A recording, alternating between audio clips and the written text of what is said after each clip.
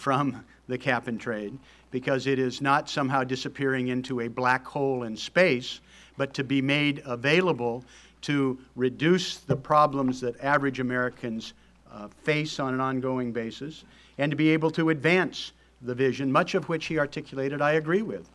Mr. Chairman, I appreciate deeply your uh, scheduling this hearing and being able to deal with an important part of the climate change equation and the livability of our communities.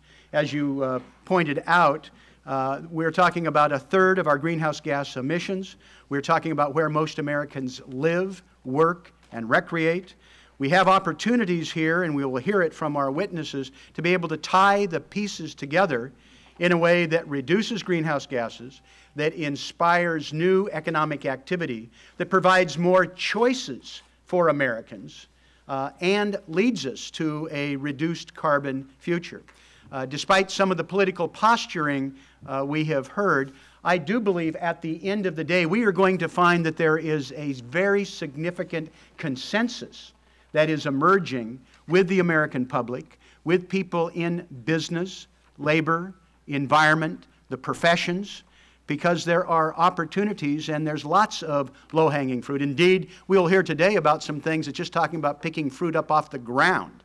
And they have, in many cases, multiple benefits in terms of improving health to the individual, new economic activities, not just saving the planet. I look forward to hearing from our witnesses, Mr. Chairman, and to be able to explore with you the big picture where we are looking at technology, economic development, strengthening the communities, solving multiple problems simultaneously.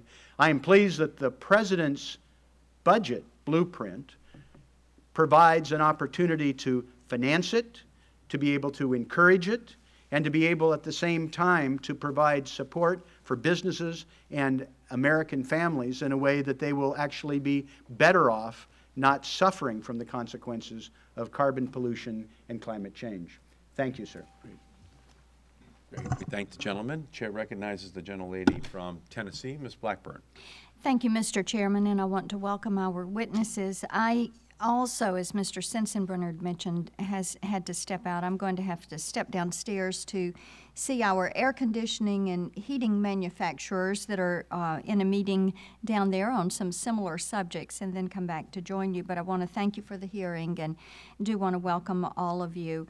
And as you can hear on this panel, we will disagree about the issue of global warming and climate change and uh, the science that is involved there. But one of the things I think that we all agree on is that traffic congestion is a problem and that this is something that does need to be addressed.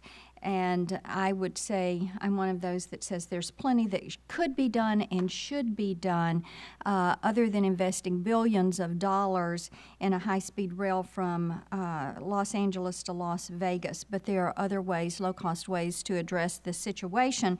And there was a study by the Texas Transportation Institute that included some really um, common sense approaches to this issue. Um, freeway ramp metering, traffic signal coordination, incident management, high occupancy toll lanes. Taken together, these measures would reduce hundreds of millions of traffic hours, save billions of gallons of gas, and eliminate thousands of tons of emissions, all of which are important to us. So I think that Investing highway money to correct inadequate bridges and increase road capacity, coupled with a few simple improvements, would significantly reduce emissions, reduce fuel wasted in traffic congestion, and move us in a more common sense approach along a way to solving the problem. And with that, I will yield back the balance of my time and look forward to the testimony. Thank you, Mr. Chairman. Thank the gentlelady. Chair recognizes the gentleman from Colorado, Mr. Salazar. Well, thank you, Mr. Chairman, and I will submit my full statement for the record, but I just wanted wanted to uh, uh, just briefly uh, let the panel know that I'm very interested in, in, um, in uh, energy independence and trying to figure out where we go from here. Uh, I'd like you to address um, the argument uh, that a lot of people talk about whether we should do maybe a carbon tax instead of a cap and trade system, if you would. But I also wanted to commend the second panel, John Deere. I'm a farmer by trade. I, I, I run nothing but green tractors and I want to commend you for your fuel efficiency um, efforts in, in that respect, and, and so thank you very much, Mr. Chairman. I yield back. Great. Uh, We thank the gentleman. The chair recognizes the gentleman from Missouri, uh, Mr. Cleaver. Thank you, Mr. Chairman. I have an abbreviated statement. I, I- think uh, we are at a, at an unusual moment, and if you um, deny global warming, th- th- that's, that's fine. We're, the- we're, we're the only people on the planet with a sizable group still saying that uh, there's no uh, climate change. But uh, we do have a, an unusual moment here in that it, uh, and that nobody can argue that putting uh, CO2 in the atmosphere is good, no matter what you believe. That just can't be good. I just, um, I, I'm, I'm trying to find somebody who thinks that we need to uh, suck it up. So uh, it, it's, it's, it's not a, a good thing. But some good things are happening. We are at a 52 year high with transit ridership. And I think that is, is a good thing. I think it was brought on by two things. One, uh, when we had the uh, tremendous rise in, in, in, in uh, the barrel of, of oil, uh, which ran gasoline prices up, uh, and then uh, the economy going down, people not being not able to buy new cars, and so they they've gone to the to transit. And so what I think we've got to do is figure out a way to uh, create uh, the, the most ecologically uh, and environmentally sen- sensitive uh, system of mass transportation uh, on the planet. Any nation uh, who has a system superior to ours creates embarrassment to us. And so I think I'm interested in, in hearing your ideas and suggestions and look forward to your uh, comments. I yield back the balance of my time. Great. Gentleman's time has expired, and now we'll move to our very distinguished witnesses. And our first witness this morning is Mr. Peter Varga, who is the CEO of the Interurban Transit Partnership. He is in charge of operating the urban transit system in Grand Rapids, Michigan, called the Rapid. Grand Rapids has become a leader in green buildings, mass transit, and other environmental initiatives. Mr. Varga previously worked in transit management and safety uh, in uh, Muskegon, Michigan, and Santa Cruz, California. We welcome you, sir. Good morning. Sorry. Good, good morning. Uh, Thank you, Chairman Markey, and uh, members of the Select Committee. This is really a, a great opportunity for me. Uh, We are a transit system that is quite successful in the United States in growing, and I think that's one of the reasons why I'm here, because I want to talk about how you can achieve 10% growth in transit, double the ridership in a decade. Um, We have, uh, we started the authority about nine years ago. Uh, We have expanded services over time, and we have, in fact, we're now transporting 9.1 million trips a year, and that's a double of the ridership that we had a decade ago. Um, The, the Grand Rapids region is quite well known for uh, its greening efforts and its green transportation. Uh, We are part of a community sustainability partnership with the cities, with the business people, and with the universities. Um, 18% of all LEED projects in the United States come from the Grand Rapids metro region. We have the first rectory, the first church, the first public museum, the first LEED certified hospital, and we at the Rapid created the first LEED certified public transit building in the United States.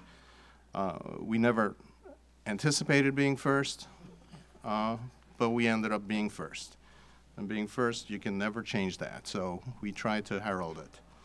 Um, We're very well known for our sustainable practices. Um, I- In my testimony, I talked to you about our Central Station project, which is LEED. Uh, We're going to start using the Americans uh, with American Recovery and Reinvestment Act to expand our Wealthy Operations Center, our maintenance facility, and it's intended to be a LEED facility as well. Uh, In, because of our leadership in public transportation sustainable practices, we were designated by the Sierra Club in 2008 as a cool city, along with Denver and Minneapolis. Um, In my testimony, I give you several examples of uh, public environmental benefits of a public transit system, but I wanted to highlight one thing. Um, currently, more, there are more than 10 billion trips taken yearly on public transportation. With each additional billion trips taken, oil consumption can be reduced by 420 million gallons and our carbon footprint reduced by 3.7 million metric tons. Um, let's assume the 10% growth rate we've done in Grand Rapids in public transportation trips. The United States could save 141.9 million metric tons of carbon emissions annually, equal to 8% of total carbon emissions from transportation, and also save 15.2 billion gallons of fuel per year. Uh, I don't know how much we get from the Persian Gulf, but if it equals that, uh, that would be worth it, wouldn't it? Uh, I've, I've also put in some more statistics in, in, in, in uh, information in my testimony talking about how individual actions impact the environment and how we can reduce carbon footprint. I'm not going to go through them, but I really wanted to talk to you about investment in public transit. Uh, with an average return of 6.1% in investment, we could create millions of American jobs, generate enormous public and private revenue, and make the country more economically and environmentally efficient. At a time when our country has been calling for stimulus, sustaining a 5.5% growth in public transportation could support 5.3 million jobs, and a 10% growth could support 8.9 million jobs. Um, so one of the things I did want to talk to you about is, and I, I, I, have in my testimony how Grand Rapids specifically has benefited from its public transit system. The, the, the highlights I would like to say is we're starting to do a uh, BRT project uh, under very small starts. It's called the Silver Line. And we're completing a, we've completed a streetcar feasibility study that shows that it's feasible in the downtown area, and we're trying to create a public-private partnership to develop it because currently, uh, under the New Starts program, we are incapable of actually uh, pushing streetcar forwards. Um, we have some significantly improved transit services in the last decade, and we've doubled our ridership, as I said. The, the importance of this is that I do believe that the United States can double its ridership as well with the right kind of public investment.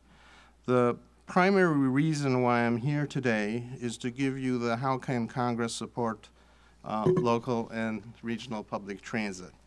Um, you could increase the availability of funds for fixed guideway projects like our proposed bus rapid transit project and other modes like light rail, commuter rail, and streetcar. You can make available funds for non-motorized options such as walking and bicycling. You can reduce the transportation cost for Americans through investment If of you could public summarize, transportation. if you could summarize, please. I will sum it, sorry. Um, in sum, I have indicated in my testimony that there are several ways that federal climate and transportation legislation can affect positive change. And I encourage you to take each one of those measures that I've outlined and implement them because we don't have enough time as we're trying to save the earth. Uh, Thank you, Mr. Varga, Thank very you. much. Um, I'm going to allow the leading bicyclist advocate in the Congress to introduce our next witness. I wouldn't say that where Mr. Oberstar could hear you, um, but thank you, Mr. Chairman. Uh, it is a pleasure today to have Andy Clark. Uh, Andy is the executive director of the League of American Bicyclists. Uh, last week, he just hosted people from 47 states, uh, several foreign countries, um, uh, over 600 advocates who were in and around the Hill sporting our trademark bicycle pin.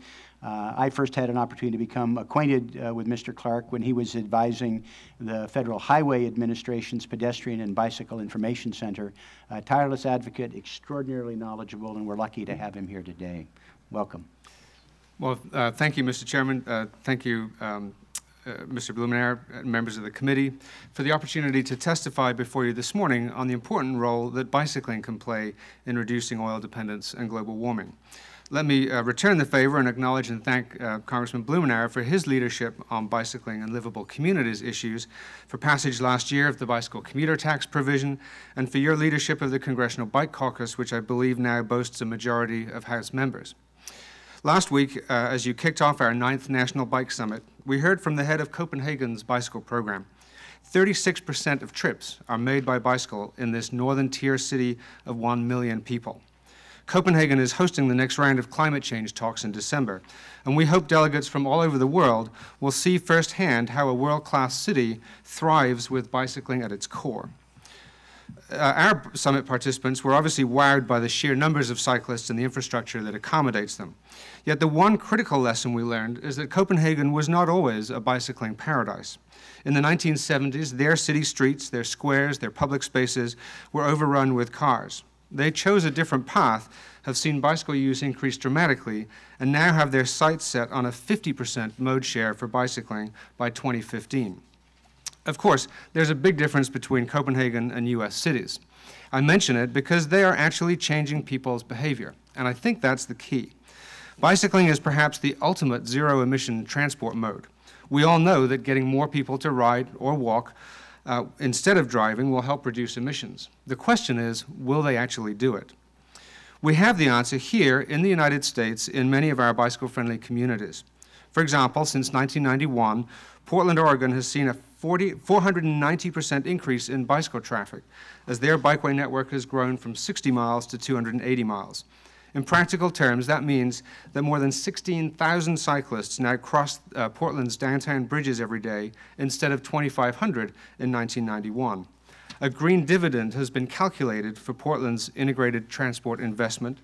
The average Portlander drives four miles less per day than the, na than the national average, saving 2.9 billion miles of vehicle travel and keeping more than a billion dollars of money in the pockets of Portland residents. Other cities that I document in my testimony, such as New York, San Francisco, Cambridge, Minneapolis, and Washington, D.C., have seen phenomenal bicycle mode share increases in recent years because of the policies, programs, and funding they've invested to improve conditions for bicyclists. So how can the federal government support bicycle travel? Climate change legislation and the next transportation bill will direct hundreds of billions of dollars to transportation projects. And it's essential that a significant percentage of that investment completes bicycling, walking, and transit systems in our cities. Uh, a recent survey by the National Association of Realtors found that close to 90% of Americans agree with that approach. We must have a national complete streets policy to ensure that all those funds improve the safety and convenience of bicyclists, pedestrians, people with disabilities, transit users, and yes, even motorists. On that point, let me reiterate that bicycling, walking, and transit rise and fall together. I'm not pleading a special interest case today for bicycle enthusiasts. I'm suggesting that livable, sustainable communities are built on the ability of people to walk, ride a bike, and take transit for many of their daily needs, and that motorists and urban freight providers will benefit from having fewer cars on the road. Equally, I'm not suggesting that everyone suddenly become a 60-mile round-trip lycra-clad bicycle commuter. Our focus must be on the 40% of trips in this country that are just two miles or less. 90% of those trips are today made by car. Those are the most polluting trips. These are the trips we must make easy and convenient to be made by bike. This is where the greatest potential lies to reduce climate emissions in the years ahead.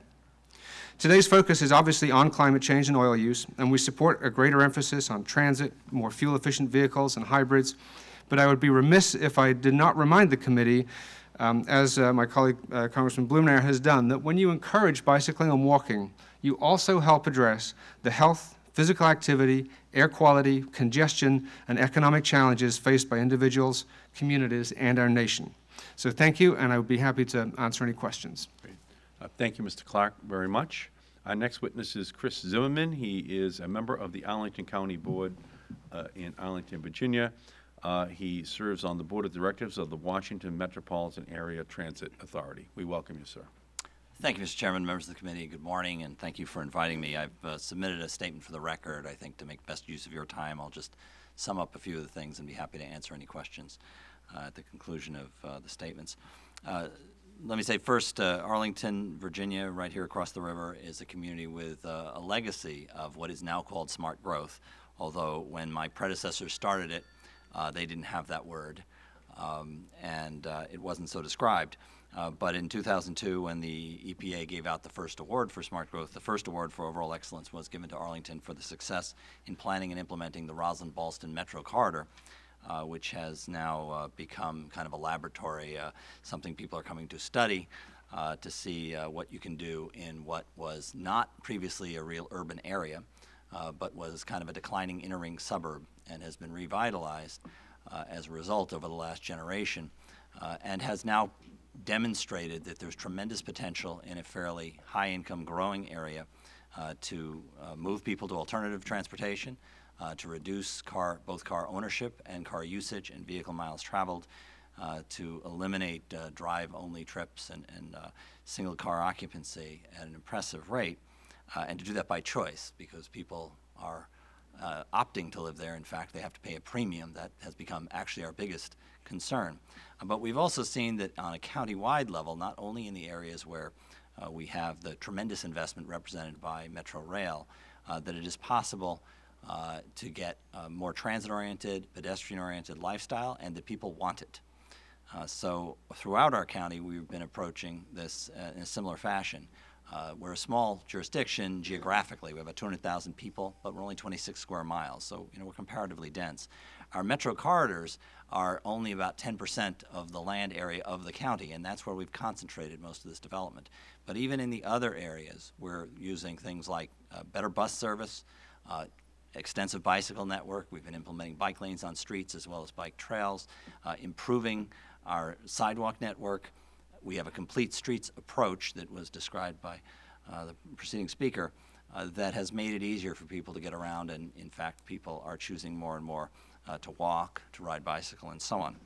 Um, just to give you a rough idea, uh, between 1996 and 2008, our county added 13,000 housing units, over 1,300 hotel rooms, 5.5 million square feet of office space, 1.3 million square feet of retail, over 23,000 residents, and 11,000 workers. During that same period, traffic trends were basically flat, and transit ridership grew by 44 percent. Uh, there are many other ways you can measure this. Uh, just to give you one example, uh, if you simply look at who drives alone, who you know how people get to work, basically. Uh, if you look at how people get to work in the Washington metropolitan region, about three quarters or so uh, drive alone. Uh, in, uh, in uh, under the most recent survey we have, which was 2006, before the big run-up of gas prices, uh, a majority of our residents do not drive alone to work. Uh, only 47% of them do that. That's countywide, not just the metro corridors. Whereas more than a quarter of them take the train, 12% take the bus, 6% walk, 3% bike. And that all those numbers are up since just 2000 in just the course of this decade, we've been able to move more and more people. Again, they're doing it because they choose to do it, uh, because we've made it attractive, and increasingly, it's what people tell us they want to do. Uh, I will say uh, that the approach we've had is a comprehensive one. It centers first on land use and key decisions that have been made over the years and integrating transportation, but it includes other components as well, including a commitment to alternative fuels, which we have, for instance, in our bus system, which are CNG, uh, to a green building policy. We had the first green building policy in this region going back 10 years ago now, um, when not a lot of people knew what LEED was. Um, and, uh, and we have approached it in little ways too, with things like um, car sharing. Uh, we have uh, car sharing available. I should say in this, we, we somewhat copied Portland. Um, uh, we uh, straight out stole your orange poles that you put on the street there. That seemed like a good idea. And so we have uh, Zipcars now, we had FlexCar, and we'll invite any provider uh, at every one of our metro stations and in other places so that many uh, Arlingtonians make that their second car, including my family, instead of owning two cars. You know, you don't need to pay the insurance on it, and, but you have the second car when you need it. So there are a lot of little things you can do. We have a comprehensive transportation demand management uh, policy that relates to all new development. Uh, that promotes uh, transit usage by whether it's people working in an office building or uh, multifamily residential, and, and I could go on, but obviously time is limited. Let me uh, finally just say that I think there are a number of things the federal government could do that would be more helpful for this kind of policy in localities around the region, uh, including making tra transit investments easier. Uh, obviously, we use more funding, but it's also what you have to do to go through the funding. And I will mention that outside our metro corridors, one of the things we're trying to do is implement a streetcar like Portland's, and uh, there are many obstacles by the current state of, of federal policy. Thank you, Mr. Chairman. Thank you, Mr. Zimmerman.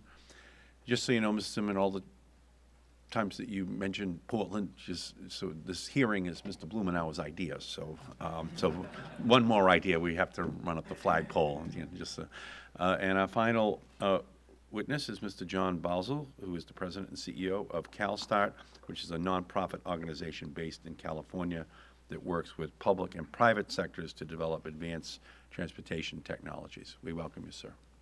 Did I pronounce your name correctly? Boesel. Boesel. Mr. Boesel, okay. Thank you very much.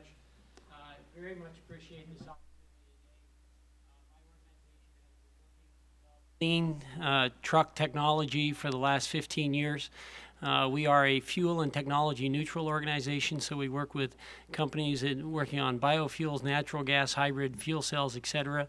Uh, while we're regional sounding in name, we're actually uh, in this space uh, working nationally.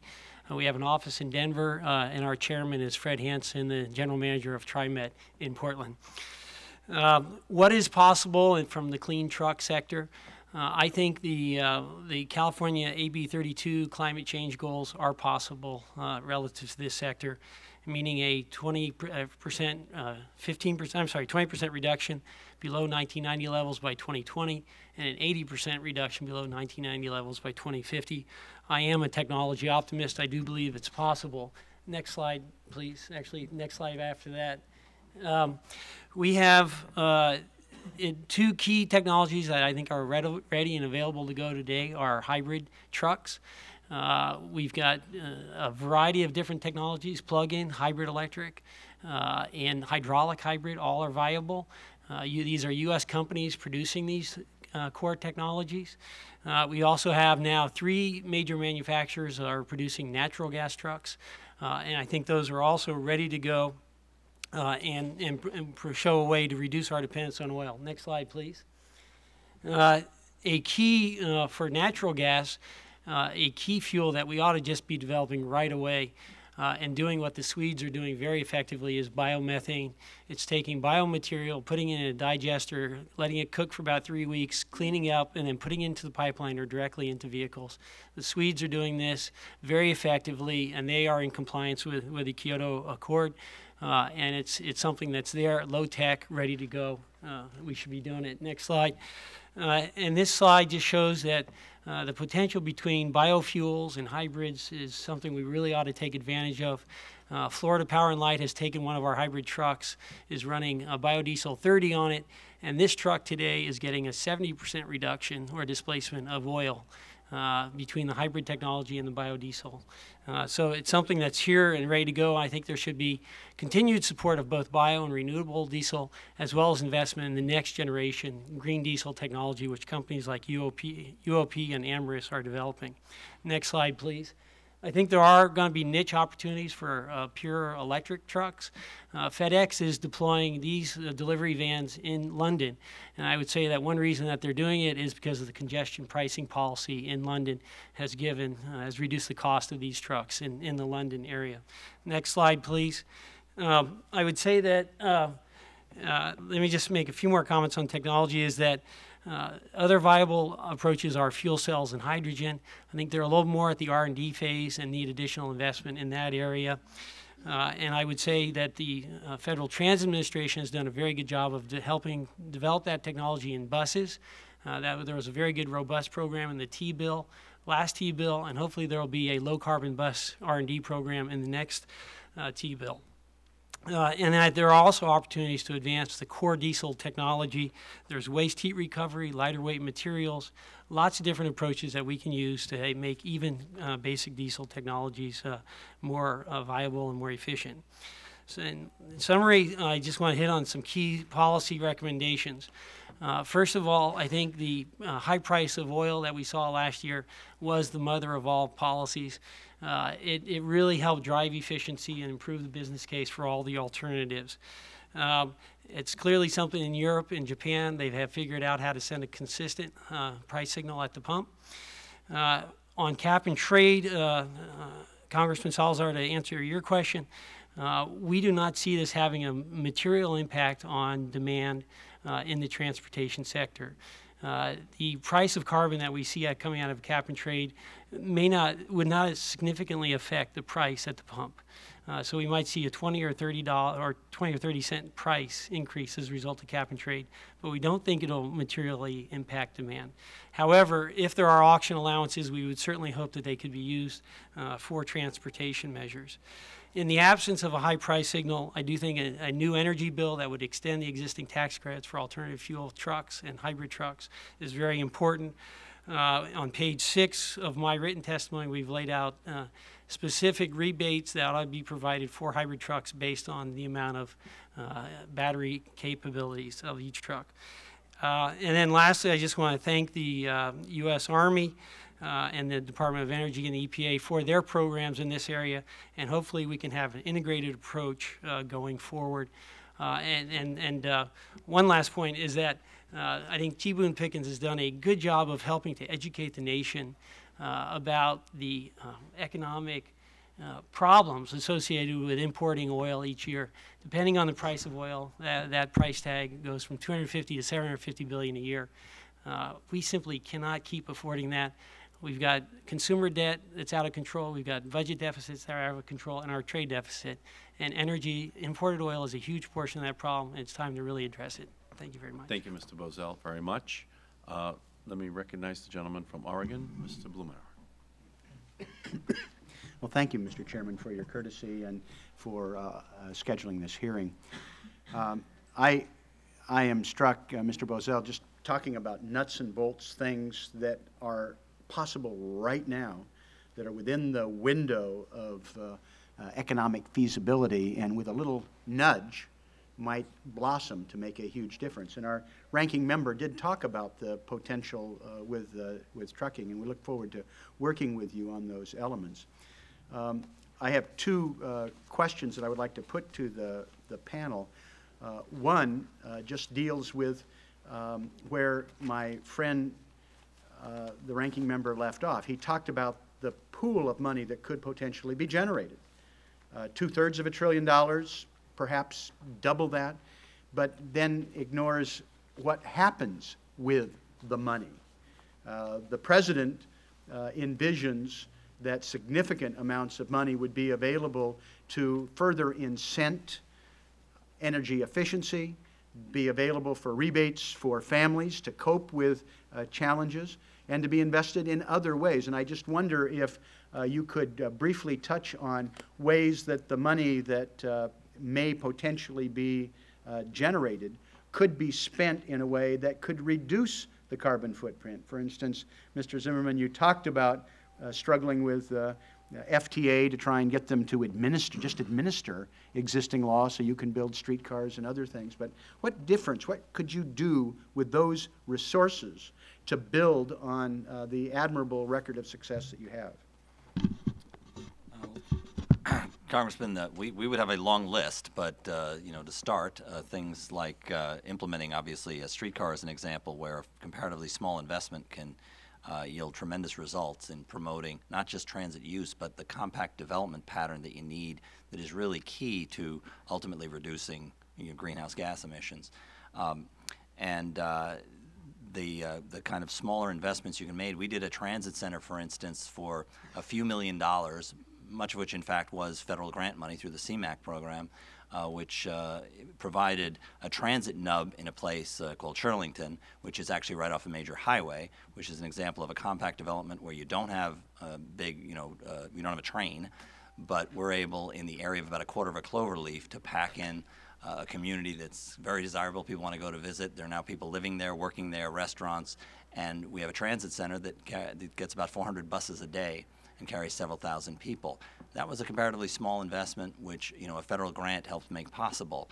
Uh, there are all kinds of things like that you can do, and again, I would stress also not just the money, but how do you remove the obstacles that make it so difficult to get that you say, well, for a few million dollars, am I going to hold up my project for years in process? That's a tough question for us. We want to come back to you in terms of reauthorization.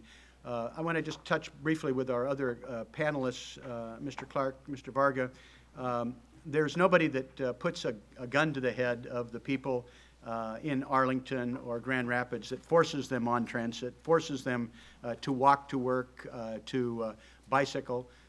you've referenced in several ways the, the choices, making the choices more attractive uh, so that people can take advantage of them. We want to would you like to elaborate on that for a moment, Mr. Clark, in terms of Um, choice for our citizens? Thank you. We, um, we often hear uh, that one of the biggest challenges facing uh, getting more people riding is Americans' love affair with their cars. Um, I believe Americans have a love affair with the quickest, cheapest, most convenient way of getting around, which we have done a very good job of making driving uh, recently. Um, a soon-to-be published report comparing the U.S. and German uh, transport policies uh, shows that uh, Germans who love their cars and fast cars as much as anyone um, have a 41% mode share for biking, walking, and transit. They have the choices, they have the options, and they choose the easiest and most convenient way of getting around. In Copenhagen, again, the speaker at the National Bike Summit said that's the reason why Copenhageners ride their bikes. It's not because they're big environmentalists, it's not because it's in their genes, it's because uh, cycling is the easiest, quickest, most convenient way of getting around. Um, so I think that is, is part of the trick. And, and to uh, refer back to your uh, last question, I took the precaution of talking to Roger Geller at the City of Portland uh, yesterday, and he says that for um, about the equivalent cost of 800 feet of the I-5 uh, Columbia River Bridge uh, replacement project, they could uh, um, affect a, a Copenhagen-style transformation of, of, Portland and achieve a significant mode shift and mode uh, change um, uh, over a, a, 15 to 20 year period. Uh, that seems to me a wise and, and, and uh, sensible use of, of resources that are there. Thank you. Thank you, Mr. Chairman. Great. Gentleman's time has expired. The chair recognizes the gentleman from Colorado, Mr. Salazar. Thank you, Mr. Chairman. Um, the uh, could you address the argument of should we just put a carbon tax on this and utilize that money to you know uh, develop new greener technologies and things like that, or should we do the cap and trade? And any of you can answer. If I can address this you, you should do anything you can, whether it's cap and trade or carbon tax or taxing vehicle miles traveled, to get 250,000 cars off the road daily. O only only 54% of people have access to public transit. Um, you need to shift that, so you need to use some of those revenues from those sources to deal with the problems rather than the current revenues that are available to increase public transportation. So I would encourage all of you to look at different kind of climate change legislation that uses those mechanisms to fund these alternative sources of transportation. Which one would you prefer? I mean, a simple carbon tax, for to, emissions? Or? To me, to me a, a, simple carbon tax and, and an assessment on vehicle miles traveled, a combination of those things so you reduce also uh, the vehicle miles traveled. Anybody else? Uh, honestly, I, I, think that any of these approaches would help in almost any combination. Uh, essentially, what Mr. Vargas said is is the most important thing. That you know you have to make the incentives reflect the policy goals, and I think you have to make the cost, reflect the social, the, the price we pay reflect the social cost. And you know anything from raising the gas tax, uh, you know, which would help a lot, uh, or something more sophisticated like a vehicle miles travel tax, which in some ways would be better but harder to do. Uh, but really, I think any of these things would be better than where we've been, and you know, it's going to be a matter, obviously, of what you can make work on, you know, on many other levels. I, I wouldn't know how to pick in terms of how it affects me at the local level any of these things I think would be helpful in getting the right outcomes. Anyone else? I must say, we, we uh, as an organization, don't have a particular preference. Uh, we do know that uh, as gas hit $4 a gallon last year, um, our phones were ringing off the hook. Our events were going, uh, were going crazy. In, in the Denver metro area, um, for example, their Bike to Work Day grew from uh, a steady uh, 15,000 people a, a, year to over 20, 25,000, almost 25,000 people, um, because people were focused on the price point and clearly gas and, and price is a, is a big issue as, as, to how people choose to travel. So whether that's the right mechanism, and we don't really have a, a, horse in the race, whether it's cap and trade, whether it's a carbon tax, but the price of, of carbon certainly um, needs to be raised so we can pay for any of these alternatives. Mr. Boesel. I would just say that um, in general, I, I, I don't know that the different a carbon tax is going to generate a higher price at the pump than a cap and trade program would. I think they end up, when you see the proposals, they end up sort of having the same net impact. So in terms of demand, I don't know that there's a huge difference. Uh, I do think it's critical, you know, how the revenues get spent. Uh, I want to applaud Mr. Sensenbrenner for his bill uh, talking about the need for additional funding for hybrid truck R&D. Uh, we've got to find a way to, to fund projects like that. And so I, I, think that's critical. I will say that in California, there's a proposal being put forth uh, to a commission that's looking on how to revamp the state's uh, funding system. And one of those is that, that there be a surcharge on, on gasoline and diesel, uh, recognizing that a cap and trade program would not have a big impact. Okay, and briefly, Mr. Boesel, um, you talked about innovative technologies uh, to create more efficiency, I believe, in some of the work you're doing. Are you um, aware of Sturman Industries um, in Colorado that uses an Apollo space mission uh, technology that has been able to increase internal combustion engine efficiencies by as much as 40 percent? We are quite aware of that, that very impressive firm, uh, Mr. Salazar. Uh, I think they've got some very interesting technology.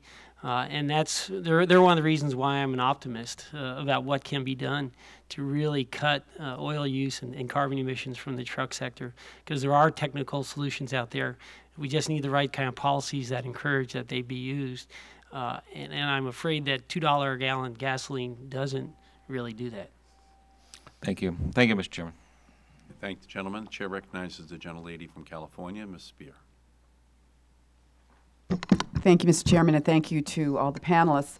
You know, uh, I'm struck by the statement I heard earlier today that Americans love their cars fast, heavy, and uh, big, which is all very true. And, you know, in California, where I am from, uh, we are all very sensitive to um, in the environment, being energy efficient. Uh, we've got the AB 32 law in the books, but I go to my local dealerships and they tell me that overnight the popularity of hybrids dropped like a rock and the big heavy SUVs were once again popular. We're trying to um, direct Detroit to build cleaner, more energy efficient cars, and yet um, it's all about supply and demand. And how do we address that?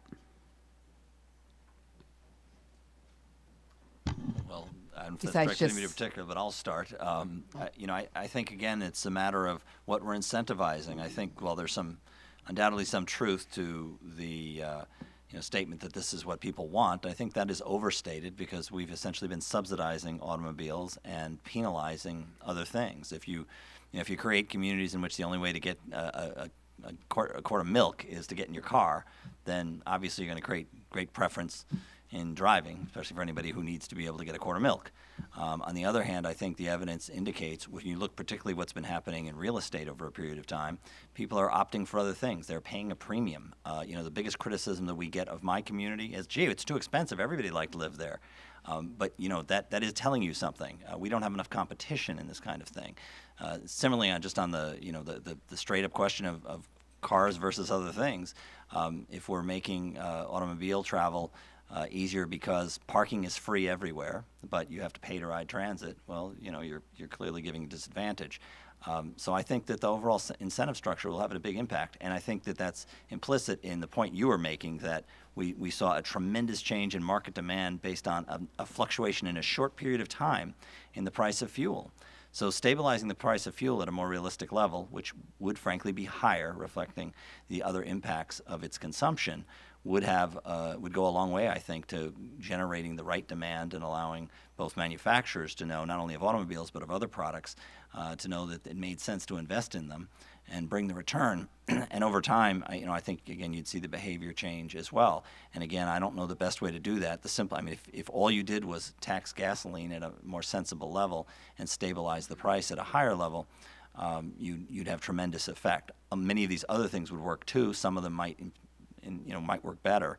Uh, but somehow you need a policy that, that does that. Um, otherwise, I think we continue to get into this fluctuation that you were describing. and the complaint from people trying to do either policy at the local level or manufacturing goods, saying, you know, can't count on what's going to happen next. What I would like to say is that you should really incentivize public transportation, bicycling, walking versus using your car, where you're putting your investment. If you're putting your investment into making it easier for people to buy cars, use cars, then you're not creating the kind of land use patterns that really help people move to communities where they can walk easily, take a bicycle, live in the neighborhood, use public transit, get rid of their car. It takes an adjustment. It took me an adjustment to get used to my hybrid car you know, but my other car is the bus. And, you know, we have to think about what's important. What's important is to save the earth. I mean, there's something, there were two shows last night that talked about global warming like we're still debating it. Yet we're dumping sand on the beaches nearby here because the sand is being eroded because of global warming. We're spending money the wrong way. We should be spending our money incentivizing a change in behavior. And you have to change behavior. Maybe just add to that and say that uh, I do think that um, the way we do our planning can really be uh, improved. And, and, in California, there's there has been new legislation passed, SB 375, that will require metropolitan planning organizations to help come up with sort of a carbon uh, footprint analysis and plan to reduce uh, emissions and vehicle mile traveled. Uh, I think uh, Mr. Blumenauer is considering legislation along these lines that that might also be helpful at a national level. And then could, if we start building in requirements that we reduce uh, emissions through better planning, uh, lower carbon trucks, and through the goods movement industry, then I think uh, you know we can see some progress. Uh, let me just um, applaud that because it reminds me a lot of the housing element requirements in California that by virtue of requiring the housing element and having a percentage of low-income housing, communities were forced to develop those um, those percentages. So it sounds like a good plan, Congressman. We'll talk. Thank you. Mr. Inslee.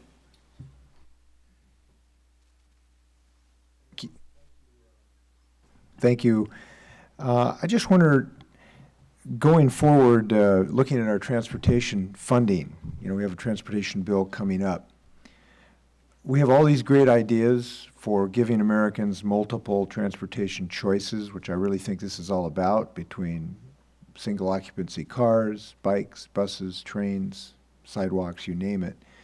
How should we think about the division of our financial resources between those? Has this group thought about what the target ought to be for modes that have the capacity to be safe, reliable, and reduce you know, our impact on the environment? Should there be a target in that regard regarding the disposition of our resources? And how would that target relate to where we are right now? Um, I can't say that I've uh, run this by my colleagues on the panel here, but um, speaking for the, um, the America Bikes Coalition, which is a coalition of the national bicycling organizations, uh, the numbers that we are um, uh, commonly uh, using are that um, currently 13% uh, of fatalities uh, our, on our nation's roads are um, bicyclists and pedestrians. About 10% of trips are made by foot and by bicycle. And we get currently between 1 and on a good day, 1.5% of federal transportation funds um, being spent on those modes, uh, significantly less if you look just at the safety funds. So there's clearly an imbalance that we would like to see uh, rectified. Our goal uh, in, that we'd like to see in this reauthorization is to find a mechanism to, uh, to double the percentage of trips that are made by foot and by bike to get us up to the levels enjoyed by many of our economic competitors uh, around the world. Uh, and to, uh, to do that through everything from uh, Safe Routes to Schools programs, which get people thinking the right way at an early age, um, right the way through complete streets policies, which are supported by um, AARP and the realtors and a, a variety of other uh, groups uh, along those lines. So um, that's the kind of uh, balance that we'd like to see more of in, in the next transportation bill. When you consider that uh, something like 60% of uh, transportation emissions are generated by passenger vehicles, and that's about a fifth of total U.S. Uh, greenhouse, uh, at least CO2 emissions, as I understand it, uh, I think there is an argument for kind of targeting uh, other modes and trying to promote them.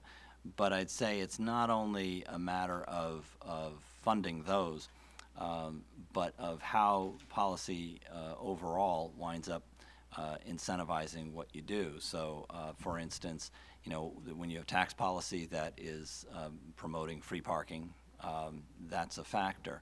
Uh, but you also have to consider how you give out whatever money you give out, so that if if you had a policy that were rewarding the kinds of investments, not only in the modes you want, but also rewarding the supportive policies that, for instance, we administer at local level. I mean, most land use policy is local policy. Some states, you know, govern it, but mostly it's, it's the most local thing done. And yet, in what you need to do if you want to get a project funded, whether it's a road, transit project, or any of it, doesn't really depend on a, a whole lot of that. And the, the practices in the past have tended to you know, tended to be independent of that. In fact, they've tended to promote exactly the wrong kind of thing. So, you know, if somehow you were rewarded for the fact that you're investing in existing commercial areas, that you're, um, you know, that you have uh, land use policies that promote compact development and transit orientation, not just transit adjacency, rather than rewarding people because they're going faster over longer distances solely, I think that that could have a really uh, big so impact. let me start at the beginning. If, if you don't have a goal, you don't get there. I guess the question is, should we have a goal for our transportation policy and appropriations coming up here this year? Yes. Of I a would say given, yes. of a gi- Yes. everybody's saying yes. Let me ask the question first. It's a great panel. Um, Of a given, you know, of a given CO2 emissions per mile traveled in America. Everybody's saying yes to that, I assume. Is I'd say yes, but uh, the- my only concern would be when you try to set the goal nationally, you have to set it in a way that doesn't wind up being too low, um, but on the other hand, takes account of those areas that have already done some of the right things, and how do you not punish them for having done some? I mean, it's, I don't think it's an easy thing to, or a simple thing to do, but with that qualification, then I think, yeah, you should set targets. Quick question. Uh, I've been talking to uh, the Better Place folks about establishing an electric infrastructure for charging electric cars. Just got a BlackBerry this morning about Spain moving in a very serious way to provide a public infrastructure for charging electric cars. Uh, we're now looking at some permitting issue up in the state of Washington to, to allow that to move forward. Uh, some people have expressed concern about that uh, uh, ending up being a monopoly of one company if they come in and provide all this infrastructure. Um, I think that can be handled, but I just wonder if you have any insights on how we provide this electric charging infrastructure. Uh, That's a very timely question. Uh, I'd say, first of all, that I'm very excited about the number of electric vehicles or plug-in vehicles coming to the market. Uh, There are plug-in hybrids, there are pure electric vehicles that are, are coming. Uh, I think one of the real beauties uh, of those cars is that people will be able to recharge at, at their home. And, and people are finally looking at these cars as uh, more urban uh, city cars and not trying to make them do the exact same thing that your, your gasoline car could do. So I think to a certain extent, the initial rollout of these vehicles will not be dependent on having a public infrastructure. And I think surveys show that people love to be able to charge at home. Uh, but I do think that as we roll out this infrastructure, it is very important that there be a consensus within the industry, within utilities, car manufacturers, that we don't get into a uh, beta versus VHS kind of debate. And, and we did that in the early 90s, and we ended up with two different types of charging plugs. And, and now we still have those out there, and those same plugs are not relevant to the next generation of plug-in vehicles. Well, the, good, should- the good news is that the wiring's there, but um, Chairman's permission, just one quick question. I mean, should we try to strive for some uniformity in a charging system? Yes, yes, we, we definitely should. And, and I think that's a great role for government to really drive industry and get people to cooperate and talk to each other. Thank you. You. Uh, Ms. Herseth Sandlin. Thank you. I thank the witnesses for their testimony. Uh, I represent rural America, represent South Dakota, and I want to make sure that as we move toward a greener transportation system, that our needs and opportunities aren't left out of the discussion. Our transit systems certainly may not have developed quite as far as urban uh, transit systems to date, but there are certainly challenges to overcome, but opportunities as well. Uh, the miles that we put on vans and buses uh, as most transit fleets offer services hundreds of miles away from base communities, uh, is something that needs to be addressed. Most towns in South Dakota have to compete with cities for the incentive grants offered by the Federal Transit Administration and Federal Highway Administration to help upgrade to greener and more fuel efficient vehicles. But many folks that I hear from in South Dakota are excited to take part uh, in the new green transit system and are certainly doing their part to reduce emissions, utilize homegrown clean biofuels, and become more energy efficient. Moreover, many of our towns face the unique opportunity to be able to build up green, fuel efficient fleets from the very beginning. For example, River Cities Transit in the state's capital city of Pierre we pronounce it Pierre, not Yeah. Pierre in South Dakota, as you know, uh, is at the forefront uh, of our state in utilizing E85 vehicles and other fuel efficient vans and buses. They're also working to purchase the first hybrid van in the state to be able to use, be used for public transit. And they're excited to see if hybrid vehicles are a workable option uh, in our state. Now, River Cities Transit is also working closely with many of the nine sovereign tribes in South Dakota to help them build up their fleets with similar vehicles and encouraging their leaders to make smart decisions now that will save both money and reduce emissions. So I guess I'm wondering to what extent your organizations or other organizations that you're familiar with have been reaching out to rural communities to share with them strategies for developing green transportation systems, as well as anything that you're aware of in terms of organizations or um, initiatives to reach out to Native American tribes. Um, I can talk a little bit about that. The, the, issue here is that, um, let's look at Europe. Uh, in Europe, you have rural communities, you have urban communities, yet you have an integrated transportation system.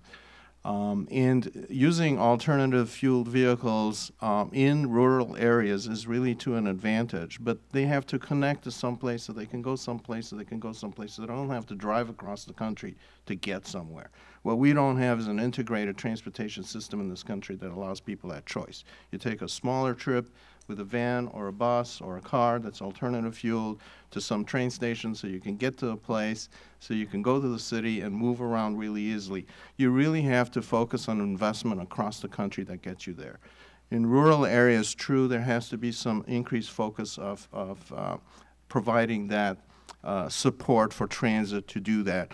And then in the cities, you have to make sure that there's more fixed guideway systems in there so when you get there, you can move around. So you're not stuck thinking, I'm leaving Pierre, I have to use my car to get to Chicago.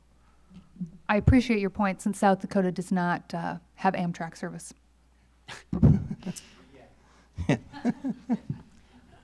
I just want to, want to say, uh, Congresswoman, that uh, one of the uh, programs we're really working hard to develop is a, a fuel called biomethane, uh, which is uh, t- taken from uh, biomass, and it can be the, the Swedes. Uh, I'm not sure if you were here earlier, but then when I mentioned it, but the Swedes are developing this fuel.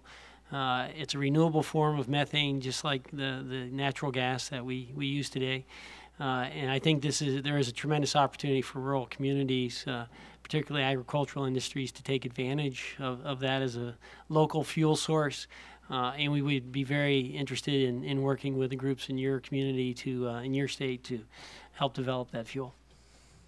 Um, if I may, four, three, uh, four very quick points. Number one, uh, one of our um, uh, most uh, favorite bicycle-friendly communities in the U.S. is the Tucson area.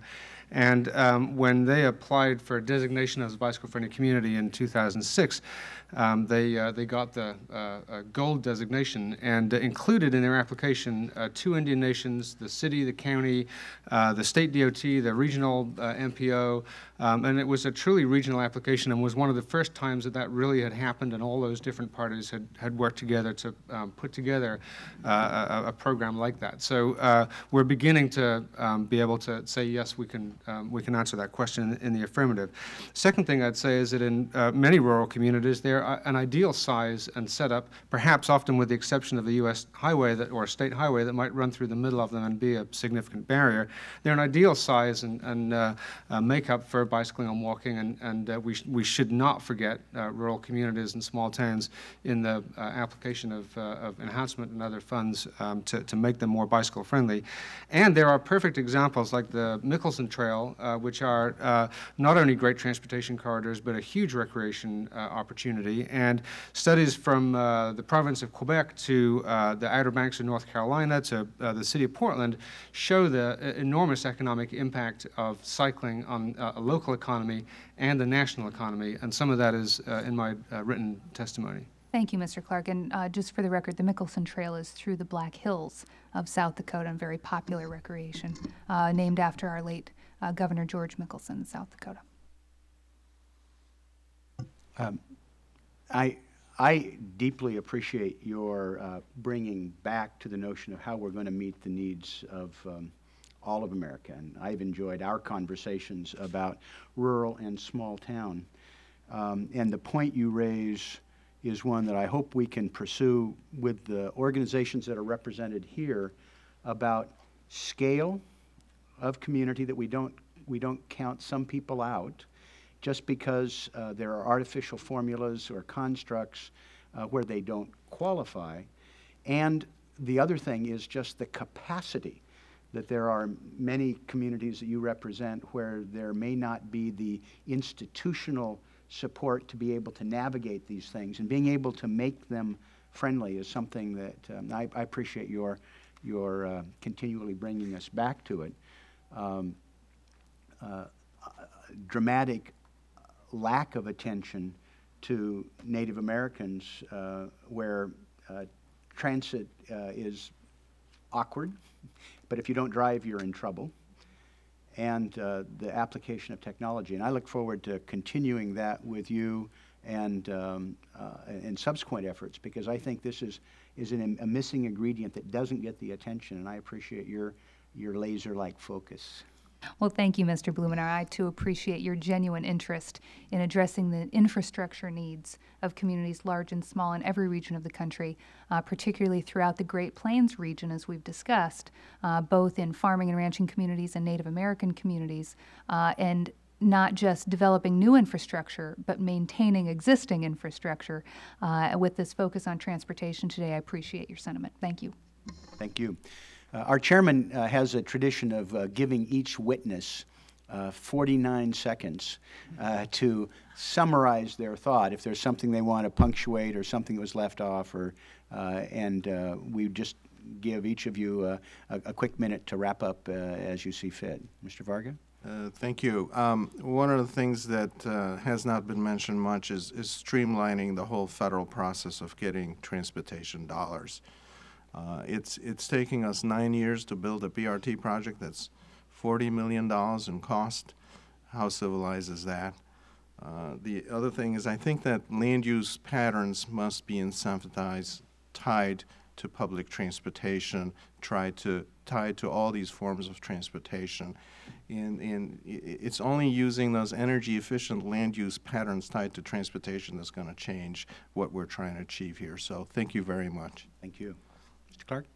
Um, I would go back to the uh, the one statistic that I think is perhaps the most surprising, and which even I have to keep checking to make sure I'm not making up, and that's that 40% of all the trips in U.S. metropolitan areas are two miles or less. Those are the trips that we can have some impact over. And I would uh, close by saying that uh, um, you may uh, recall that uh, in 1985, the World Bank famously issued a report on transport in China that failed to mention the word bicycle. I would hate to come back 25 years from now and look at climate change legislation and a transportation bill uh, passed in this Congress that fails to really adequately address uh, bicycling and walking and transit. I think you're safe. Mr. Oberstar will make sure of that.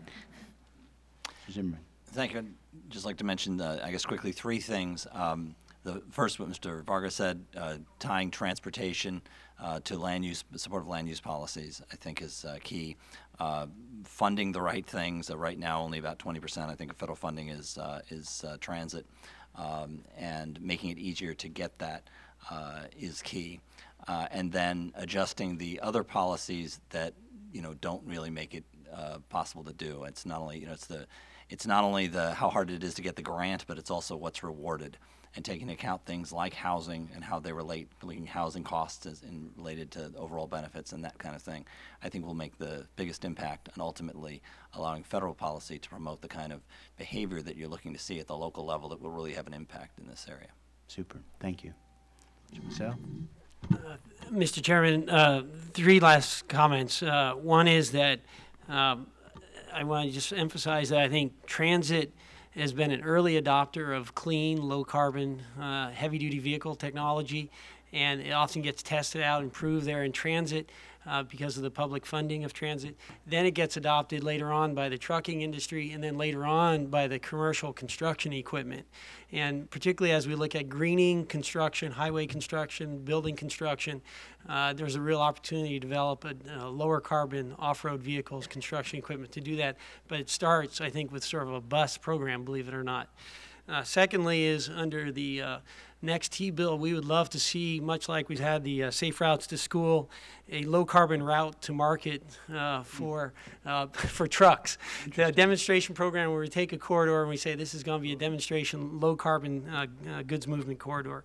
And then lastly is I think there's a huge opportunity if we do invest in this sector to be a world leader in terms of heavy duty green uh, vehicle technology. we can be exporting this product. Uh, in, many countries, the biggest, fastest growing countries, 50% of their vehicle population are commercial trucks and buses. Uh, they don't have the kind of per capita vehicle ownership that we have in this country. So if we develop this product, we get it down to a, a decent price, it can become an export uh, product and can be a global solution. Super. Thank you very much for uh, helping us build this record. Um, we're going to have, uh, and we'll move to our second panel here, um, we're going to have people dropping in and out, and as you've noticed, this is broadcast, so there are people that are actually monitoring. Uh, so we want to just drive ahead until we have, uh, and not wait for the chairman.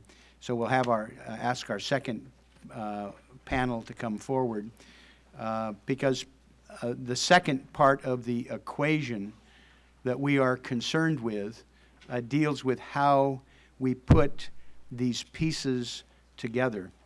Uh, there, are there are so many elements that are involved uh, with our built environment and the infrastructure that uh, are uh, uh, profoundly affected by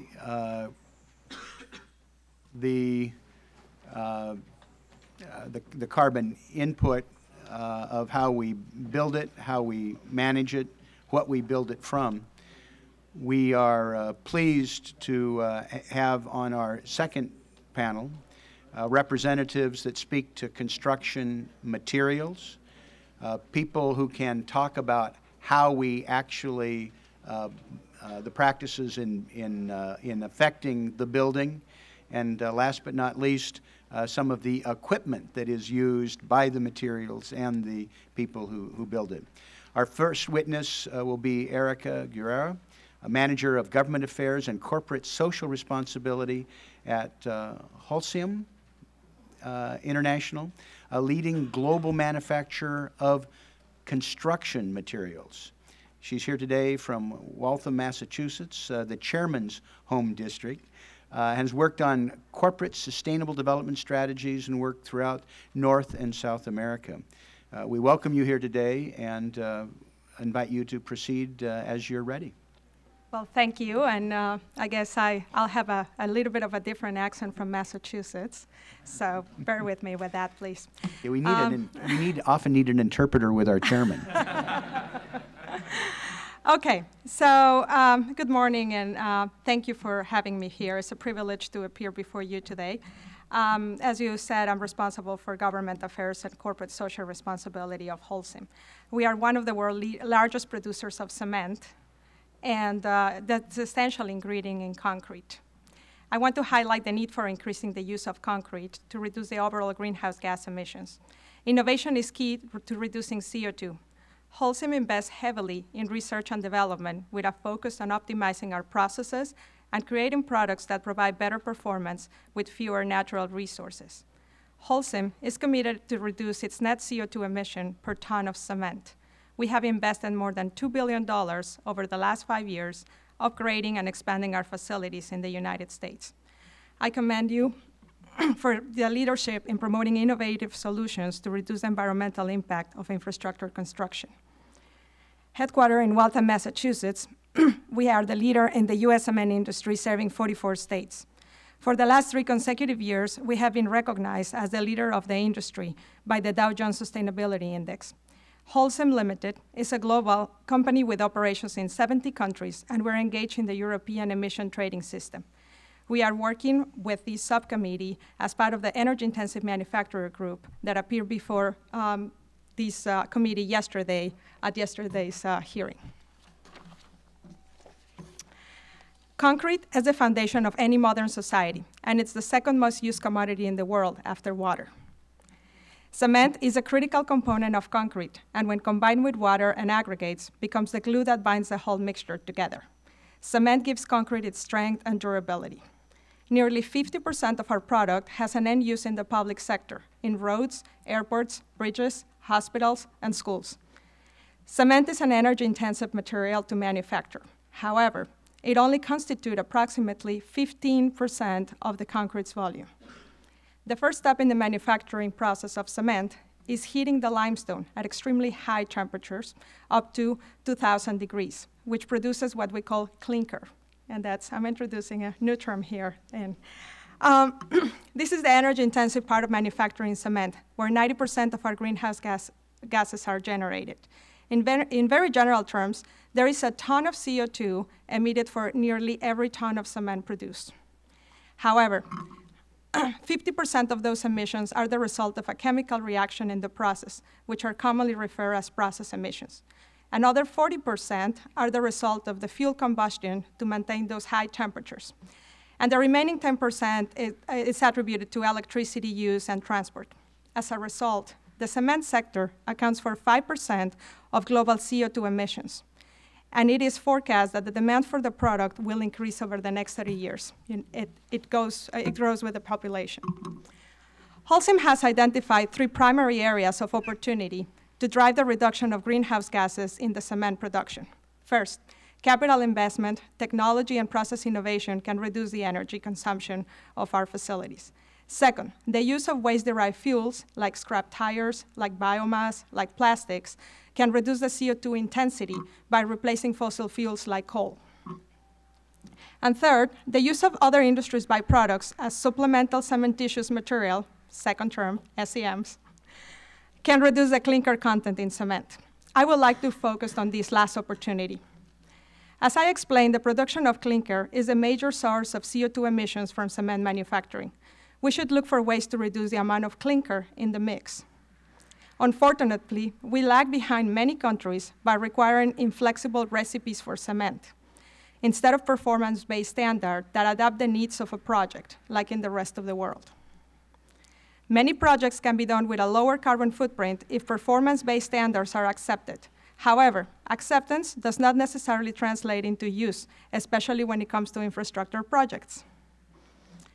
Holcim encourages the development of a unified performance-based specification for cement with support from ASTM and AASHTO that ensures that cement produced in the United States meets all technical requirements while affording producers the opportunity to innovate and develop new products.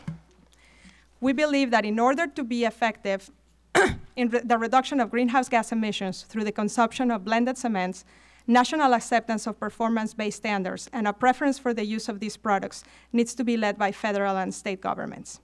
I sincerely thank you for your time, and I again appreciate this opportunity to speak about the linkages between infrastructure development and global challenges of climate change. Well, thank you. We appreciate your adding your voice. It's something I don't think is appreciated in this broader conversation, and I appreciate your being part of our hearing today. Mr. Weaver, what do you do with all this cement? We, uh, we are concrete paver, so that yes, I plays should, right into. I guess I should introduce Mr. Weaver as the Highway Division Chairman at uh, the Associated General Contractors. As we all know, AGC is a leading advocate for infrastructure investment uh, at, the, at the federal level, and I would say at the state and local level as well. Uh, Mr. Weaver is Vice President of Weaver Bailey Contractors of El Paso, Arkansas and we deeply appreciate your joining us today and the leadership that AGC has been uh, exhibiting on so many of these interrelated problems. Thank you, and I do follow Scott Williams uh, from, from your district, because he was chairman last year, and uh, I will have another accent that you haven't heard today. so, Uh, I'll skip my first paragraph. Uh, AGC is the oldest construction association in the United States representing contractors that build all forms of infrastructure. Construction is the delivery system for a cleaner, healthier, and safer environment. Studies show that improving our highway transportation infrastructure to allow vehicles to move freely through existing bottlenecks will significantly reduce greenhouse gas emissions. Also, increasing transit ridership, which we have transit members that build transit, uh, by improving existing systems and constructing new ones in congested urban areas will also have positive impacts on reducing greenhouse gas emissions. And as important as providing these needed infrastructure improvements is the way these improvements are made. The, our industry has a long history of developing construction techniques and practices that enhance the environment. The federal government can, insist, can assist in these practices by offering appropriate incentives, but it's important that we learn from the lessons of the past and not try to mandate one-size-fits-all solutions. In many cases, recycling and reuse of construction debris is cost-effective and would decrease the amount of waste sent to landfills, may reduce transportation costs, lower energy use, and thereby reducing greenhouse gas emissions. My own company, Weaver Bailey Contractors, on three jobs in urban Little Rock area, recycled over 500,000 square yards of original interstate concrete pavement into 276,000 tons of base course that was put back underneath the highways and reused. Uh, we estimate that that saved 18,400 loads of virgin materials that would have been hauled to the job site from a quarry up to 30 miles away, which uh, caused a savings of 100,000 gallons of diesel fuel, and it lowered the emissions caused by the job. Similarly, recycled asphalt pavement allows contractors to add milled asphalt to new mixes, lowering the asphalt content of the new material, which saves oil, lowers cost, and reduces greenhouse gas emission. Every ton of recycled asphalt from construction, which is the millings that you see the milling machine, uh, results in the elimination of 0.03 tons of CO2 emissions. Some states are resistant to using RAP, and AGC believes incentives would help these states uh, overcome their reluctance. Soil modification is another green practice that we use in the highway business. In many construction situations, on-site soils are not acceptable as subbase materials. This requires the material to be dug up and replaced. So instead of removing the unsuitable material and putting it somewhere and digging up new suitable material and replacing it, which has caused scars on the land, a variety of additives can be used cement, lime, fly ash, uh, and other chemicals. And this saves fuel and reduces the elimination uh, emissions by the need to haul things off and haul things back in. And it also helps the traveling public with the decrease in traffic. It's important to note the construction industry is not in itself a significant source of greenhouse gas. According to EPA estimates, equipment used in construction generates only 0.86% of total U.S. greenhouse gas emissions due to the combustion of fossil fuel. AGC opposes government mandates to modify equipment already in use or to replace such equipment via regulation or contractual requirement. Such re retroactive requirements place the financial burden of a largely public benefit exclusively on the private contractor. They also to have the potential to render a company's fleet prematurely obsolete and wipe out its net worth, which is how we are able to bond jobs. However, improvements in greenhouse gas emissions could be achieved by replacing older equipment with newer and more efficient equipment. AGC recommends the creation of an investment tax credit to encourage contractors to replace older equipment with new models. Newer equipment is extremely more energy efficient, it's operator friendly and safe, safer, and the new engines are designed to have a lot lower emissions of uh, particulate matter and NOx. Reducing particulate matter and NOx and black carbon can have a positive impact on global warming. In addition to the environmental benefits from replacing old equipment, there would be an economic benefit as well. With a downturn in the construction, downturn the construction market, contractors are purchasing less equipment, both for their current workload and the future, because our future market is uncertain. U.S. equipment manufacturers have been forced to lay off a significant number of workers being because of the decrease of new equipment purchases. While the recently enacted stimulus program provides significant infrastructure investment, it does not create the long, type of long-term market opportunities until we have a full economic recovery and we see what the new highway bill will be. Uh, a tax credit would offer an incentive for contractors right now to, uh, to buy new equipment. In conclusion, AGC believes that the efforts to further the use of construction techniques and practices that have a positive environmental impact should be encouraged. AGC cautions against creating mandates that attempt to impose specific construction practices. AGC believes that partnership approach will better produce better results for achieving the national goals. Opportunities will be available when surface transportation reauthorization legislation is considered later this year. AGC is evaluating proposals thus far, including the Clean Tea Act, and we look forward to working with this committee in the future and trying to enhance our transportation system and our environment. Thank you. Super. Thank you. Our final witness is uh, Mr. Domenic Ruccolo, Senior Vice President at John Deere, the green uh, equipment that uh, our friend Mr. Salazar mentioned. He's responsible for sales and marketing in the worldwide construction and forestry division. He's previously worked in wholesale finance and directed the Hitachi Construction and Mining Division. John Deere is a leading provider of products and services for agriculture and forestry, and we deeply appreciate your joining us today and look forward to your uh, testimony when you're ready. Thank you very much. Uh, on behalf of John Deere, uh, I'd like to thank the uh, distinguished members of the committee uh, for the opportunity to testify today on constructing a green transportation policy. Uh, I'd also like to go on the record for thanking Mr. Salazar for his kind comments about our products and companies as well. For 171 years, John Deere has enabled human flourishing by offering solutions to, to those who produce food, fiber, and fuel, beautify and protect our environment, and build and maintain our homes and critical infrastructure.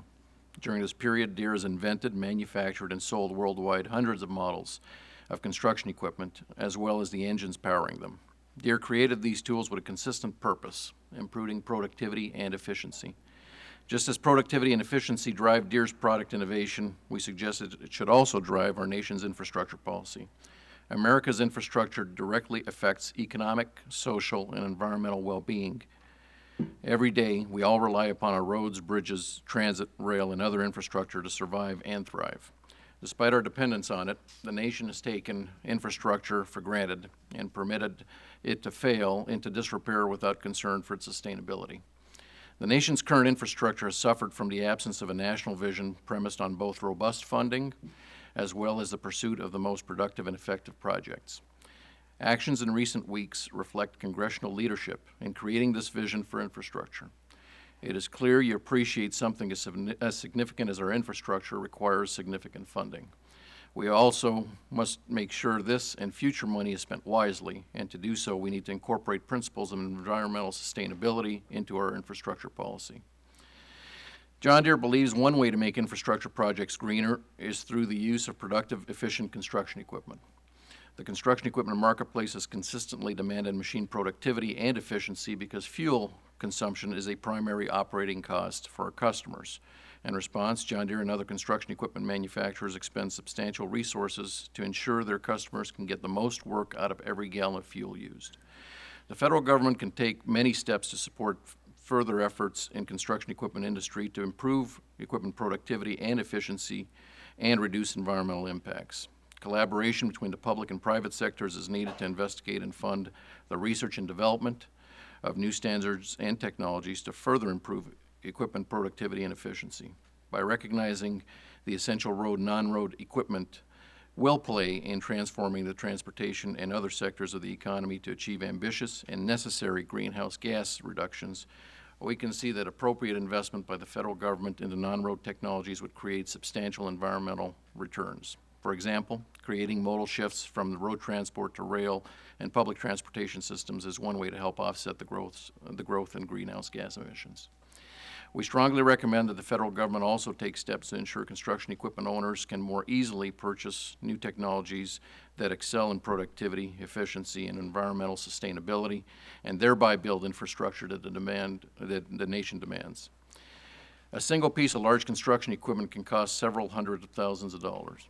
The development of tax incentives and funding specific to the purchase of new equipment will remove uncertainty for equipment owners who today face a risk that inconsistent environmental and other regulations created by states and locally may make equipment obsolete well before the end of its useful life. On a larger scale, the federal government can support greener construction practices and techniques by incorporating environmental considerations into infrastructure planning and funding decisions. As a member of the United States Climate Action Partnership, John Deere supports incorporating greenhouse gas measurement and accounting in transportation, infrastructure funding, and planning. Incorporating such considerations, however, needs to be coupled with an improvement to the infrastructure project development and approval process. Transportation projects often become bogged down for years in inefficient and redundant processes, thereby increasing the project costs and undermining the ability to improve the, the environmental impact on our transportation system. An efficient transportation system also provides many indirect benefits. For example, improving our infrastructure, we will improve the environmental sustainability of many green industries critical to rural America, including renewable energy specifically. I'd like to especially thank committee member Herseth Sandlin for her support of woody biomass energy. Woody biomass is a prime example of rural renewable resources that can help meet our energy needs, address the challenges of climate change, revitalize our rural communities, and improve the health of forests. Congress is in a position to unlock the enormous potential of woody biomass by supporting not only the creation of a market for it, but also the creation of an infrastructure system that enables its ready and cost-effective transportation. In concluding my remarks, I would be remiss if I failed to mention another critical benefit Congress should consider in its infrastructure policy debate, and that's to one of job creation. John Deere witnesses firsthand the dramatic impact of the current financial crisis on its workforce, dealers, and customers. The financial crisis has hit the construction industry very hard, with 21.4 percent unemployment and over 2 million construction workers without jobs.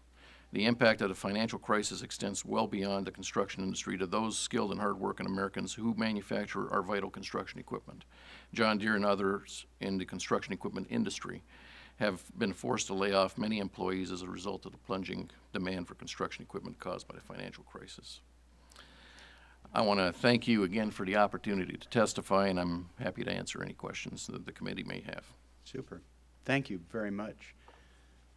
Ms. Herseth Sandlin. Thank you, Mr. Blumenauer. Um, Mr. Ruccolo, thank you uh, for your testimony. Uh, thank the other witnesses as well. Uh, but my questions uh, go to you as it relates to uh, the Renewable Biofuels Facilitation Act. I appreciate John Deere's support of this legislation that I've reintroduced with Mr. Greg Walden of Oregon. Um, we believe that a key to fulfilling the renewable fuels standard that we passed in 2007 is to ensure that cellulosic biofuels can be produced from the greatest possible diversity of feedstocks in communities across the nation. This particularly affects any region of the country with significant tracts of forest land, as you indicated, including the Midwest, the Northwest, the Northeast, and the South. Now, I know your company has developed specialized equipment to collect woody biomass in forests, and I hope that you can share more uh, about that with the committee. But I also know that the company has been very active in South Dakota in testing new farm machinery that's going to make it easier to uh, gather for producers, agricultural producers, to gather uh, and process corn stover and other farm byproducts that can be used for cellulosic ethanol production. So if you could expand on those initiatives and elaborate on the necessity of these projects if we're going to have greener fuel sources uh, in the future. And if you could also speak to some of the challenges you're currently facing as you assist efforts to expand the diversity of feedstocks for biofuels. Certainly, I'll, I'll try to hit on all those. I think there was a number of topics in, in your in your question, and be glad to to address that. Uh, relative to uh, woody biomass, yes, we, we do have uh, uh a product, and it's uh, essentially referred to as an energy bundler, if you will. It it uh, goes about collecting residue off the forest floors, if you will. Uh, either after a, a, logging operation or just it, it naturally exists and uh, actually promotes uh, the uh, health of the forest, if you will, uh, also reduces certain risks, as you know, as forest fires, uh, and and essentially takes this residue and, and compresses it in a way that uh, that creates uh, uh, kind of bundles of of, of, material that can be used in cogen plants and so on as an alternative form of of, of energy, and certainly one that's that's renewable. so on the forestry front, that that is the, purpose of, of the uh, wood biomass in particular. Um, in terms of, of uh, biomass that comes from, from uh, either corn stover or other forms of uh, agricultural products, we have several uh, projects underway there uh, in terms of, of really uh, developing uh, the technologies associated with turning uh, agricultural residue, if you will, into other forms of energy, be it uh, uh, fuels or, or, otherwise. Uh, and uh, I'm, I'm, being with the Construction and Forestry Division, uh, not the expert necessarily on agricultural biomass efforts, but would certainly, if there's more specific questions, more than glad to take those questions back and, and get back to the committee with, with those specific answers. Uh, Thank you. Uh, And also for the record, just as Mr. Salazar mentioned his familiarity with John Deere's equipment, I too spent many hours of my youth uh, on the green machines uh, there on the family farm. Uh, Thank you for your testimony. Thank you to Thank you. our entire panel. Thank you, Mr. Chairman. Well, uh, I would, we're reaching the wrap-up here, but I, I would like to uh, pose to each of our panelists uh, an opportunity to maybe drill down for a moment about the incentives, uh, the government standards that were referenced, uh, and opportunities to change the process. Part of what we've heard from our witnesses uh, so far is a little frustration um, at a time when uh, it can get a little complex. Uh, Mr. Zimmerman referenced his um, uh, frustration with not being able to, to actually get a project through the federal process, uh, which ends up uh, providing delay, driving up costs. Uh, Mr. Weaver, I think you, you referenced it. Um, uh, I'm, I'm curious if you would like to just start at first talking about what the government specs should be, how the federal government, we're dealing with reauthorization now of the Surface Transportation Act, which expires uh, in six months and I think will be reauthorized by this Congress. Um, if you want to, to touch on how specifically you think we can help by driving some different standards and opportunities, not just for pilot projects, but maybe something that's performance-based that would enable us to make it easier uh, to uh, use the new processes that you reference uh, and to make it easier to not have to jump through hurdles to be able to uh, uh, incent some of the state or local governments to take some of the innovations, not just to be able to recycle, but you're saving landfill and energy. Um, want to take a, just sort of each panelist make a brief comment about the specification issue? Well, thank you for the question, and uh, it's certainly a complex issue the, um, that this legislation will be addressing on greenhouse gases. And I think uh, uh, one of the, the first points is to look at these uh, legislation in a holistic way and really trying to link, in our case, uh, the you know the intensity of cement on producing greenhouse gases, but with the benefits of concrete as an eco-efficient material, and when it comes to uh, highway infrastructure. Um, in terms of the specs, I think there's there's a lot that uh, government, federal government, can do in terms. Uh, there are there are specs for uh, blended cements or, or performance-based uh, uh, standards. Uh, the problem is that they're not utilized across the board. There are only handful of states that really that recommend on their projects these performance-based standards. So I think there's an opportunity to mitigate the impact of uh, greenhouse gases by the usage of blended cements if it's a federal um, uh, mandate for um, a, a, performance-based standard rather than just a recipe or a prescription of uh, cement. We, we don't need the same uh, cement on our uh, strength on, on our driveways that we need on our highways. Mm-hmm. And uh, that will drive a lot of innovation on, uh, on our industry and, and the entire sector. Super. Mr. Weaver? Yes, I would like to see the Department of Transportation coordinate across all of their uh, entities, Federal Transit, Federal Highways, FAA, the specifications uh, to be a little more uniform on the use of recycled material and uh, uh locally available material rather than specing some exotic things uh, that have to be Mhm. transported great Mhm. distances. And uh, uh, like the FAA specs and the federal highway specs are totally different. And uh, according to her, uh, the minimum cement content at the end result spec, if let us do our own mixed designs on asphalt, concrete, uh, we got to guarantee it. Uh, let us come up with what we think will work and prove it rather than the state or the federal agency telling us what we have to use. But making it performance-based, as long as it does the job. Yeah, I'd rather call it end result rather than performance, but, but uh, end result, they want 3,500 pound concrete that's going to last 50 years. Instead of telling us how much cement to put in it, we can substitute maybe some rock or sand, some locally available materials, and, and make it denser and, and better than, uh, than what they specify. Thank you. Um, Getting back to the, the part of your question in terms of maybe some of the frustration you sensed here, especially in terms of the creation of incentives or uh, some of the uh, inconsistencies in regulations from state to state or municipality to municipality when it comes to to uh, to uh, some of the uh, requirements associated with with equipment. I think one one of the things is that uh, there has been some consistency in terms of what the EPA has come out with, where where it kind of gets uh, extrapolated, if you will, at the state or local level. I think is what causes a lot of the the uncertainty that uh, that Mr. Weaver expressed as well in his in his opening statements, and I think that into itself, finding some mechanisms that, that do incentivize uh, construction contractors, if you will, construction equipment uh, owners, to uh, to uh, acquire new pieces that will uh, move the needle, if you will, relative to greenhouse gas and emissions, uh, and and remove some of the fear in terms of obsolescence uh, that that a lot of these new regulations are causing. I think is, is one that, that would be a great step forward going forward, moving forward, mm -hmm. and relative to the the highway bill in particular. Uh, and the whole topic of infrastructure and where do we take the infrastructure going forward uh, for the nation uh, is certainly one that is, is complex. And I think the previous panel hit on a few issues of where it has to be balanced. Uh, the infrastructure requirements in rural America are certainly different than they are in, in more urban areas. And uh, it is going to be certainly a difficult task in terms of achieving a balanced uh, approach that addresses and at least touches on the needs of, of, of all Americans. Super.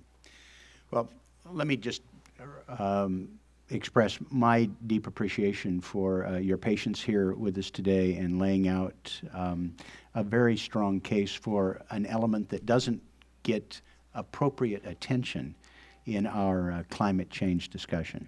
Um, uh, a ton of uh, carbon uh, being generated by a uh, uh, to create a, a ton of concrete is, is, is something that uh, I think people find sort of staggering if they're not equipped with it. And I have been very impressed with what your industry has done to try and develop uh, a, glean, a, a, greener, uh, lighter carbon footprint. And the, the uh, construction industry, the leadership that's being exhibited at some of the state and local level is really remarkable. And uh, your point about equipment manufacturing, which is essential to all of this, we've got a lot of, of equipment out there that uh, uh, actually does generate a tremendous amount of pollution and is inefficient, but as uh, Mr. Weaver points out, is uh, an important part of the net worth of a lot of uh, small and medium-sized business people, and they're going to need some, some help in the transition. And I think across the board, you are uncovering uh, a series of elements that are very, very important for us to consider in climate change, in reauthorization, um, in what's going to happen in the next round of economic stimulus, because I don't think the economy is going to rebound uh, quickly, uh, and transportation finance. So you've really set the table here in an underappreciated part of the committee's work, and I appreciate deeply your helping us build the record here today. And I wonder if we haven't exhausted your time and patience, if uh, each of you might have um, a minute uh, that you would like to offer up to just kind of punctuate uh, one item as we conclude the hearing. Yes, just to um, reiterate that uh, the energy intensive part and the, the ton of, uh, of uh, CO2 generated in, uh, in cement, it can really uh, be offset by all the benefits of concrete usage. It's cement, the, the energy intensive product, but it's only 15% of concrete. So there's a lot of opportunities to uh, really work on both ways to reduce uh, our carbon footprint. Super. I'm going to help Mr. John Deere. Uh, we think that an incentive, uh, tax incentive, uh, whether it's a targeted tax credit or whatever, to replace new equipment. With the money flowing to the states now to rebuild the highways, a lot of contractors will take old equipment, as I did this winter.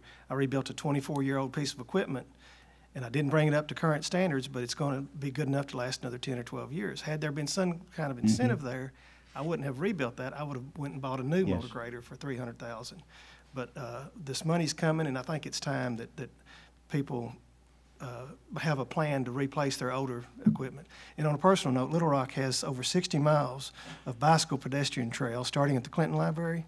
And uh, the centerpiece of it is uh, the longest pedestrian bicycle bridge in the United States. And excuse me, but it's named the Big Dam Bridge. it, it goes over a dam. Yes, and, and Congressman Snyder uh, is uh, shamelessly promoting it. That along with your streetcar. We appreciate that. Thank you, Mr. Weaver.